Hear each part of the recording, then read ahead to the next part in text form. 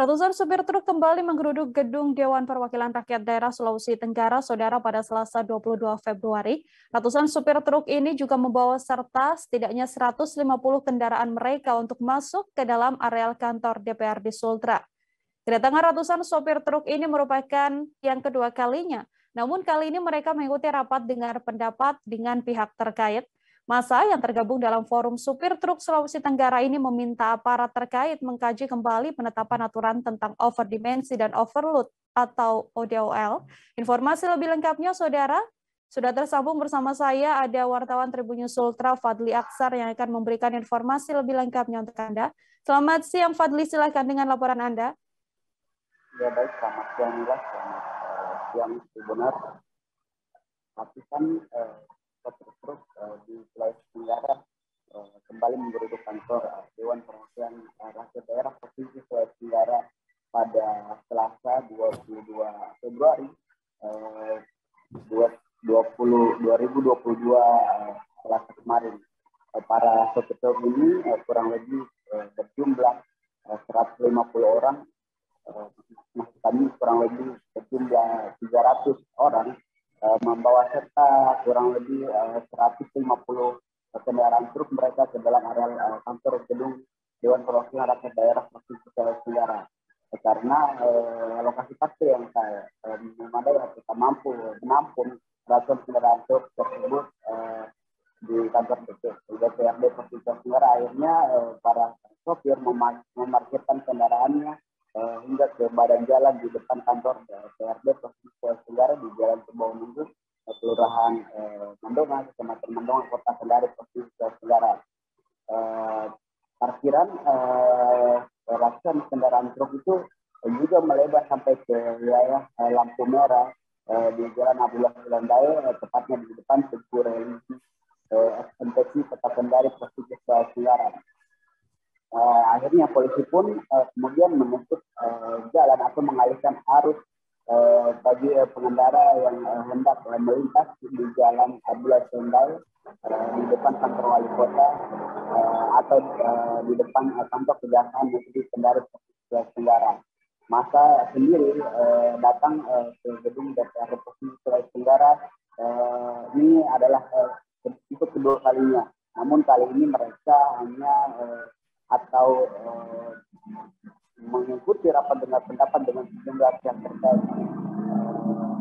kurang lebih selama satu jam menggelar uh, orasi uh, di depan kantor uh, gedung DPRD Provinsi Tenggara para masa dari struktur ini kemudian masuk ke dalam gedung DPRD Provinsi Sulawesi Tenggara tepatnya di aula lantai dua untuk mengikuti rapat dengar pendapat.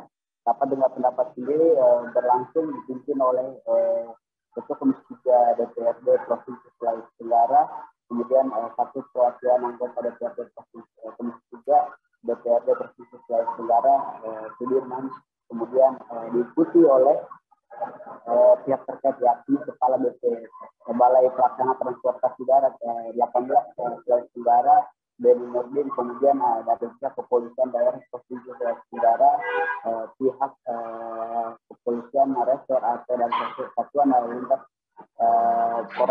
Kendari uh, dari pihak uh, PT Firte Dragon Industri dari pihak uh, PT Oksigen Steel, PT LS dan uh, sejumlah uh, aparat atau petugas uh, yang lain para uh, pengunjuk rasa ini dari truk um, memprotes uh, terkait penerapan undang-undang uh, lalu lintas uh, nomor 22 tahun 2019 tentang uh, lintas angkutan jalan.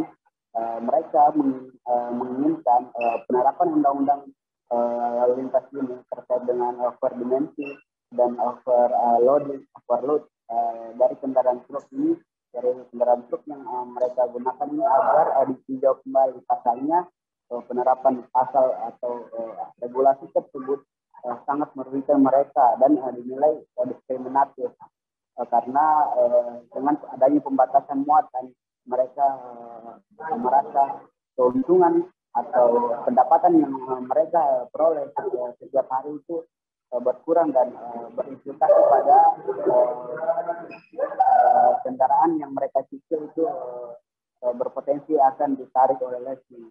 Kemudian dari hal yang mereka menganggap diskriminatif bahwa aturan 8 ton yang dibatasi untuk angkutan jalan untuk di jalan raya sendiri itu juga sebenarnya dilanggar oleh para mobil atau sopir yang biasanya mengangkut barang ekspedisi dari antar provinsi dan uh, mobil pengangkut BBM, kemudian uh, mobil proyek, uh, proyek uh, seperti uh, mobil uh, moleng yang uh, mengangkut material uh, bangunan, uh, sehingga mereka pun uh, meminta agar uh, pemerintah untuk dan uh, aparat uh, kepolisian untuk tidak langsung menilang mereka, namun uh, terlebih dahulu melakukan sosialisasi, melakukan pendekatan-pendekatan secara persuasif uh, pada para uh, sopir ini.